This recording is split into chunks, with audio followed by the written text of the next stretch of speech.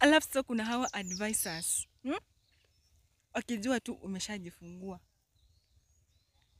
they come to your inbox or even they, they go ahead calling you oh, umejifungua dem mama chali, unamwambia umejifungua dem.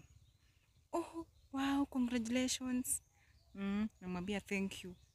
Wow. Ako how old? Ako six months. Unasikia amekuuliza unatumia family planning gani eh? ya nini? Unamuuliza ya nini? Anakushow to prevent you from getting pregnant, like kupata mtoto mwingine. My dear, I don't do that. I don't like doing bad manners. Sidhani. Hmm? Na nimekwambia my dear, nimekwambia nafanya tabia mbaya. I don't do bad manners.